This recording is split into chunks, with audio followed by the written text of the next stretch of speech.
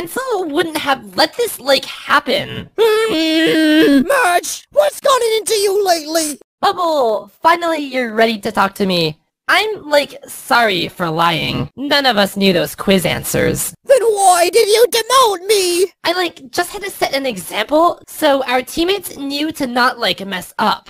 Pencil's not around, so somebody, like, had to fill in.